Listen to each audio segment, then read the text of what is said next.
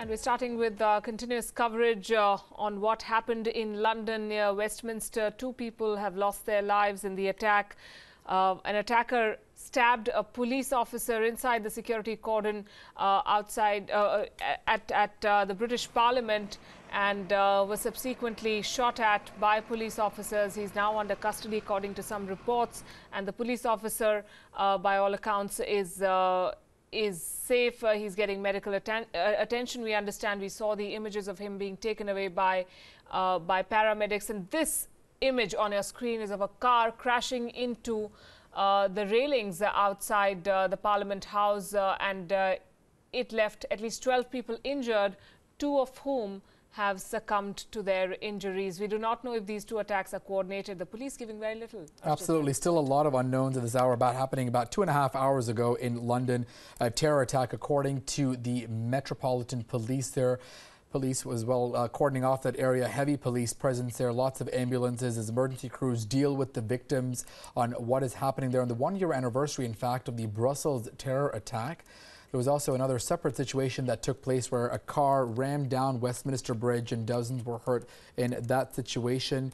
Uh, quite the scene playing out in terror uh, in the uh, uh, capital there in London. Uh, right as many people head home, a busy traffic time. Many people, many of those Parliament members locked up inside the House of Commons as the Parliament session halted. Theresa May, Britain's Prime Minister, whisked away as well.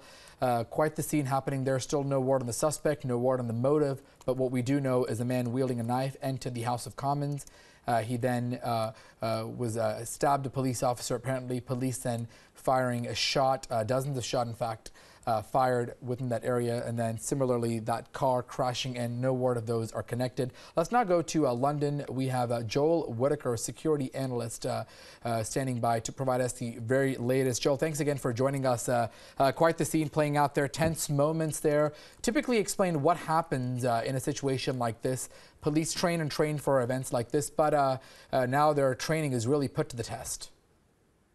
Yeah, police train a lot, and in fact, they were training just this weekend in London for a terrorist incident on the river, uh, which is quite it's quite fortuitous uh, considering how close to the river this incident occurred. Um, you know, they, they plan for these situations. They plan for attacks, particularly for terrorist attacks. Um, but no plan survives sort of first contact with the enemy, is what you would say in, in security forces. And so it's it's tough. It's tough to uh, be able to. Um, it's tough to be able to plan comprehensively because you never really know what the threat will be. You have a general idea, you can look at past threats, but you never really know what the new threat will be. And certainly, if it was a terrorist attack, certainly somebody driving a car into people on the Westminster Bridge, it's not new. It happened in the south of France, uh, but it's certainly new for London. So therefore, it's very tough to deal with that. Uh, however, where uh, the security services will um, benefit from their training, from their planning, will be in their speed of reaction. And so, how quickly they were able to contain the threat, how quickly they were able to look after injured people. Right, and among the injured could be three French school kids. The French Prime Minister has confirmed uh, that three students uh, who were on, on a trip to London along with their teacher are among those who sustained injuries and uh, they may be they may be very severely injured according to the initial reports that are coming in. Uh, as we see the situation developing and the latest images coming out, uh, this area is under lockdown, of course. The police, Joel, saying that there will be many more officers stationed across the city of London as they carry on this investigation. There are MPs, uh, 400 odd MPs who are uh, who are locked up inside uh, the Commons chamber. There are people uh, who are, who are trapped in the London Eye in those pods. So this is a very, very dramatic situation that is unfolding in, in, in a manner of speaking. What would typically be the police's first priority and, and how do they go about this? When do they declare that this is safe? Because this is an ongoing investigation which could take days. So when is it that they come out and say, yes, people who've been in their offices or in specific buildings can, can go about their business and it's safe to come out? Yeah, and a priority of the security services, and that includes the British Police, will be to protect life, to ensure that no further loss of life or injury occur to the best of their ability. And so, to do that, in order to accomplish that, they will try to cordon and close down key areas. And we've seen this, you've just described this Parliament being closed and partly evacuated. uh, which is what they will do in, in areas wherever they, there is a, a terrorist incident. They will attempt to cordon uh, and contain it. Um, so, so that's what they will do to try to prevent further loss of life. Uh, Joel, really quickly as well, I uh, wanted also bring you up to speed. I know we've been talking about this all evening long. Uh, many areas around that uh, spot are very popular with tourists.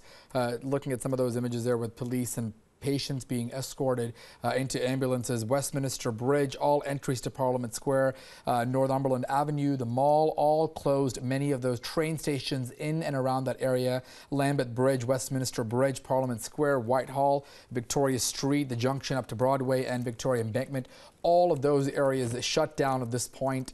Uh, many of the roads in and around that area also shut down. Scotland Yard Police, in fact, making a statement saying that is really because they want to make sure that police and uh, first responders can get to the scene, treat those victims, and whisk them away. In fact, London's ambulance said they've treated at least 10 patients so far and put many of the hospitals in and around that area in high alert as they deal with this.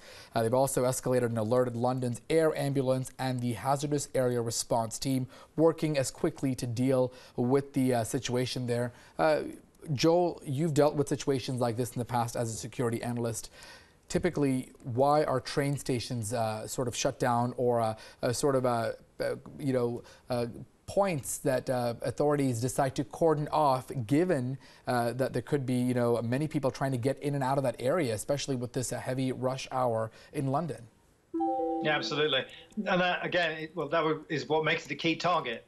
And so um, in the after an incident, it could be that uh, an area where an ambulance is going to turn up, where security services will arrive to deal with the casualties, that could be an area where a terrorist uh, would plant a bomb, and what we, we call that a secondary.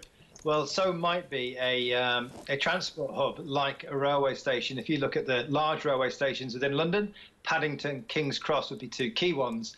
Uh, they get huge volumes of traffic of people uh, that would be a perfect place to set off a device, let's say, for a terrorist organization. And so that's why you see the security services being incredibly cautious, not always closing them down, but certainly swamping those areas with lots of manpower uh, so they get good observation in that area. And also don't forget that um, in the event of a larger terrorist attack, uh, where people may, where a terrorist may, may try to escape, um, then of course uh, the, the security services will want to keep their eyes on to monitor transport hubs in the event of you know catching catching a suspect. Right. Uh, this is an unfolding situation, and for those of our viewers just joining us. Uh, uh, there were two incidents uh, on your screen, uh, images of people uh, running to safety right after gunshots. At least 12 of them were heard inside the security perimeter of the parliament buildings, an officer was stabbed, the alleged assailant shot at by armed police. There were also photographs and videos of a number of casualties on the Westminster Bridge right next to the parliament buildings who had apparently been struck by a car. And Joel, as we look at the sequence of events and with the police giving away very little at this point, uh, there are some who, who are already saying that this car may, may have been on its way to this the same side. This is these two areas are very close together and uh, it would be too much of a coincidence if there were two lone wolf attacks taking place in the same area at the same time. Yeah, I think time will give clarity on this issue, and, and I'm sure that the security services are working hard to establish exactly what went on, whether it was a terrorist organization or whether it was a lone wolf attack. Uh, but but whatever the outcome is, is not great because in human, you know, a human life uh, or human lives potentially have been lost uh, in this situation, whether it was a lone wolf attack or whether it was a coordinated terrorist attack. Uh, and of course, the, the immediate the immediate thoughts go to those who have been uh, who have been killed and injured in this in this attack. Joel, really quickly with regards to this as well, uh, given what is happening there, sort of the the brinks of the amount of uh, uh, situations that have unfolded in Europe over the past uh, uh, 18 months or so, back in November 2015, sort of laying out the timeline. November 2015, the Paris attacks, the Bataclan, what happened there, 130 people or so were killed with a coordinated terror blast. Then, exactly a year ago, March 22nd, 2016, uh, we saw those dramatic uh, explosions taking place outside of Brussels airport, as well as the Molenbeek train station there, uh, where 32 people or so were killed in terror attacks as well. And this happening on the brinks of that, the one year anniversary. Uh, give us the mood in the sense of what is happening in Europe, specifically London, given how many uh, uh, terror attacks have taken place there. Certainly, we know that Britain has also been a heavy recruiting ground for ISIS as well. Absolutely, and, and I think in, in London and in the UK, there, there is a feeling amongst the general population uh, that more terrorists are likely to come. Um, given that uh, many many um, many people have been to places like Syria, uh, northern Iraq to fight with the terrorist organization. Um, and with that with that conflict or those conflicts now coming to the end, um, there is a potential that uh, there could be terrorists moving back to the UK to potentially carry out attacks. So that is that is a worry. That is that is uh, a general worry, I think, across the, the British population. Uh, but I, I, think London and the UK is poten potentially more protected uh, than, than mainland Europe. Mainland Europe, it's easier to get weapons across mainland Europe. And actually, I was in Istanbul at New Year, and uh, we we witnessed the the the, um, the, the the Reina shooting, which is a terrorist incident that only took one terrorist with a with an AK-47 to kill scores of people, and it really it really had a terrifying effect. Uh, and you'll see a the knock-on effect or the look ahead there in in, in uh, Turkey is that they get fewer tourists. We are likely to see the same thing go on in London, in the UK, if terrorism attacks continue. Um, you know, unfortunately, hearing about three young schoolgirls being uh, injured um, the look ahead from that is, of course, perhaps, perhaps French uh, French schools don't bring school kids to the UK to look at tourist sites because of the threat of terrorism. So you can see the impact in London. And a quick update, we're just getting seeing some reports that other media reporting, in fact, uh, with regards to what happened. Uh, police say the officer was stabbed in the UK Parliament attack, in fact, died at the scene. That is according to the minister who gave uh, resuscitation. So at this point, we don't know there were multiple officers who were attacked. We did see another person at that point we brought to you. It looked like that person was being whisked away. So we're not sure how many people or how many officers, as well as uh, uh, tourists or gender people in that area, were in fact uh, part of this the attack. we do know that the uh, suspect police then later, after that knife wielding man stabbed that officer, we do know the police shot him. So uh, quite a developing situation happening again. Uh, media in uh, the UK are reporting that that police officer who was stabbed, in fact, has now died, according to uh, local media there. I understand, uh, Palki, as well as some of the school children who may be hurt in the, this terror attack as well. Yes, three French school children, and that on your screens uh, is the image of another uh, police officer, if we're not wrong, who's being taken away by paramedics there. So so uh, more than it, one at this point. It, could be. Attacked. It could be more bad news. Uh, we may not know the full extent right. of uh, uh, this this attack and how many people may have been affected because if this one police officer is being wheeled away and uh, he, he looks conscious uh, but this report that you're quoting says that uh, the officer who was stabbed died on the spot and there was an MP who tried to resuscitate him and uh, that obviously did not work uh, his injuries being so deep these are reports that are still coming in of course the very unfortunate case of these the three French school kids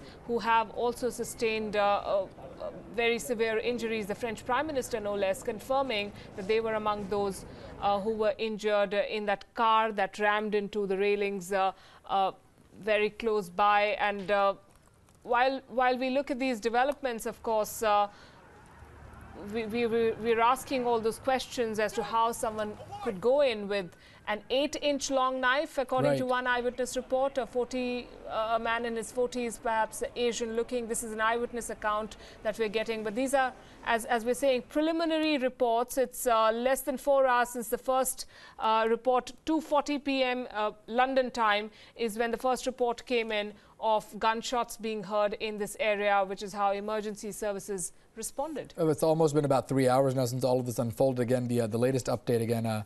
Uh, uh, three French school children were hurt uh, near that area. The three students were aged about 15 or 16. They are from uh, Brittany in western France, according to a local paper there. Uh, this, uh, according to the Prime Minister, confirming this on social media. So uh, we've also described that area popular with tourists, many people just walking, doing their day-to-day business, and then this happening in a very busy part of London, the last thing you would expect in London right. on a Wednesday afternoon. And, and Right. Uh, before before we take this discussion forward, let's uh, listen in from some eyewitnesses who saw the events unfolding, and this is what they told us.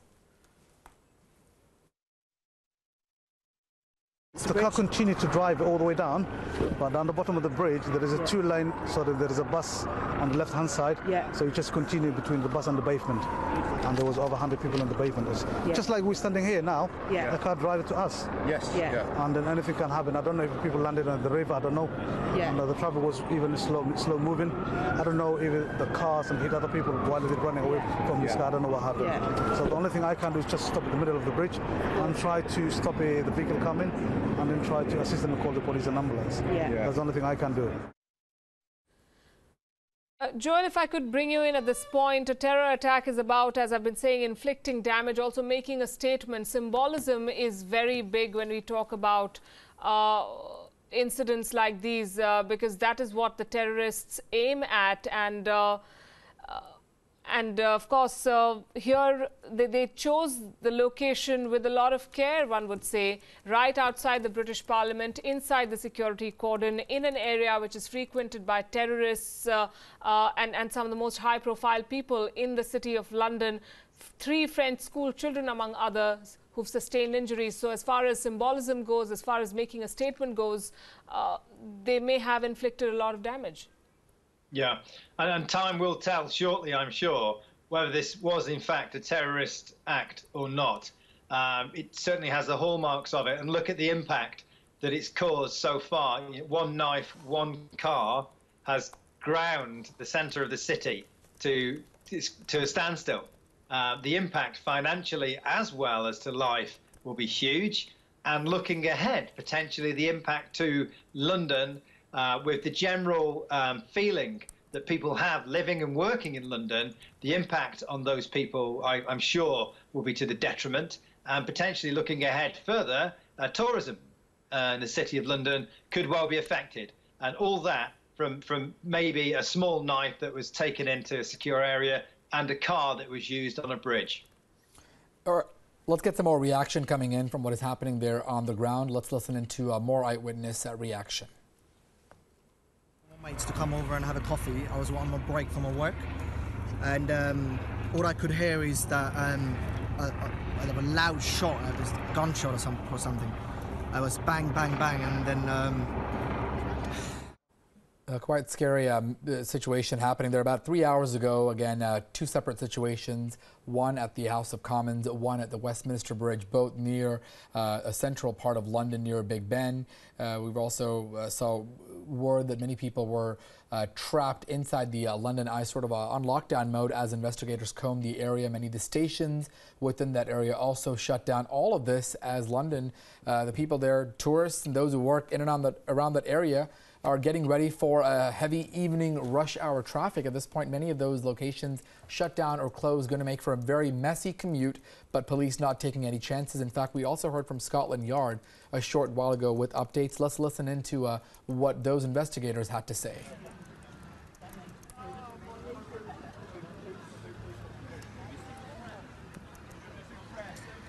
The Scotland Yard uh, uh, uh, released a statement just a short while ago. Let's see if we can listen into uh, that reaction.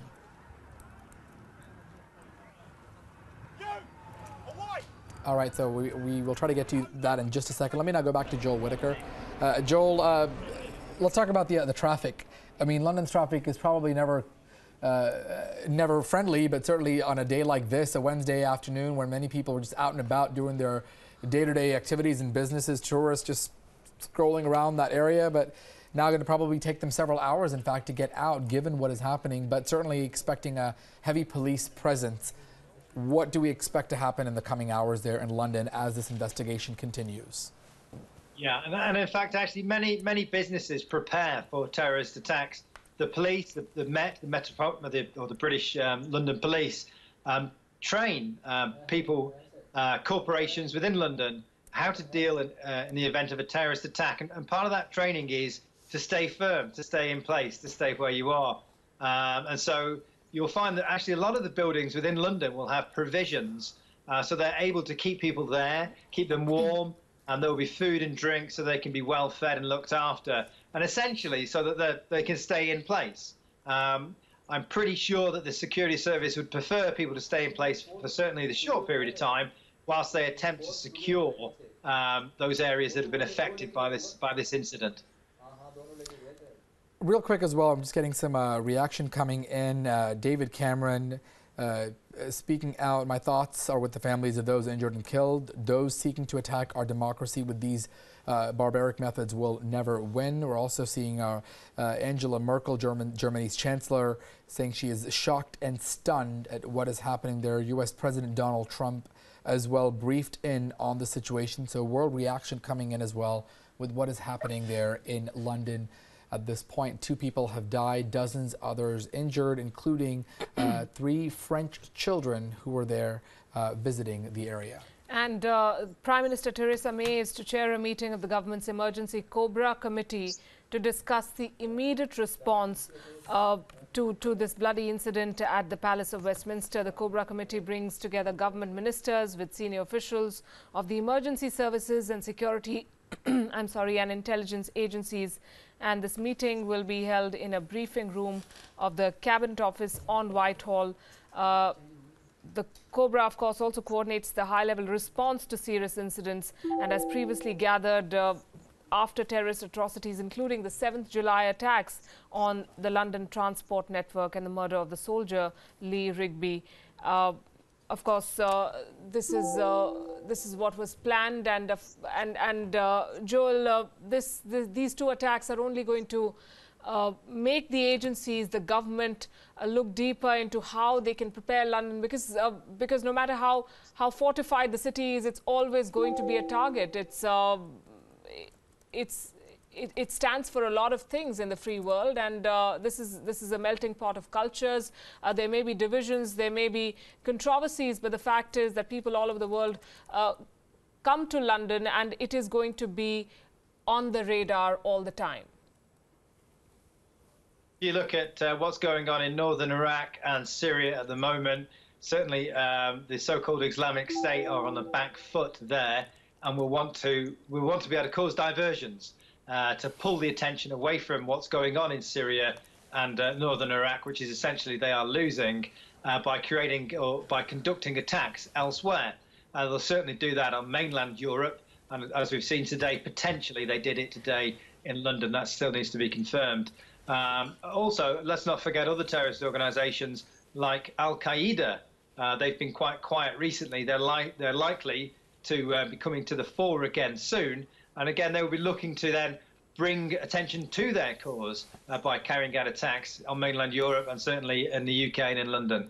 And and I think uh, we know what is it uh, that's that's worrying uh, the agencies there. British media reporting that the police are still looking for one more assailant in the London attack, and that is going to be a very worrying scenario for them. Absolutely. If one person is still out on the loose. We know that there were two separate situations, so certainly they don't have both of those suspects at this point in custody. Uh, let me now quickly go over to uh, WION's uh, Pratyush Dubey standing by in the newsroom to get us reaction on how all of this unfolded, and uh, perhaps the reaction on social media, what people are saying now into its third hour as uh, uh, panic starts to spread, sort of uh, the reality hitting hitting many people realizing how the extent of this terror attack. Pratyush, bring us up to speed. Well, absolutely, Archit. And, and in fact, I'm, I'm going to just pick up uh, from where Joel left off. Uh, the situation in northern Iraq is changing, and uh, one just needs to look at the way attacks have happened in, uh, in large parts of Europe, including just across uh, in the English Channel. In, in France, we have seen similar attacks, you know, attacks where people have used vehicles as, as instruments. We saw something uh, similar happen in Germany. Uh, but the point that uh, I would like to draw at this stage, and this is just stepping back a little bit and saying, is, is, that, listen, I mean, talking from India, we know, we are familiar with this modus operandi. We have seen this happen. We saw this happen in 2001. Remember, there was a parliament attack in December 2001. Uh, uh, some people were injured in that, and, and that could have potentially been a catastrophic, uh, catastrophic attack uh, had that, uh, you know, succeeded in its motive, and that was prevented only because of Indian security agencies. We live next to Pakistan, which, uh, which the world is now recognized as an, as, as an epicenter and an exporter of terror. And India scoped up with uh, that terror for the last 10 years. Uh, much of what the West is now waking up to in terms of modus operandi, in terms of how motivated these attackers really are, in terms of, uh, of how they want to target uh, and they don't think twice about uh, conducting attacks such as this. India's experienced firsthand, uh, and tragically so, and uh, and we have learned our lessons from that, and we are still learning those lessons. So, uh, Archit, at this stage, you know, as, as our coverage, and you know, we've been following these developments uh, second by second and getting our viewers updates. Right. It's important to look back uh, and at some stage uh, take a larger picture and uh, and perhaps try and understand the larger, wider connections of this. Absolutely. And really quickly, recapping for those just joining in, a quick update. Uh, U.S. Secretary of State Rex Tillerson also expressing his condolences with the victims and what is happening.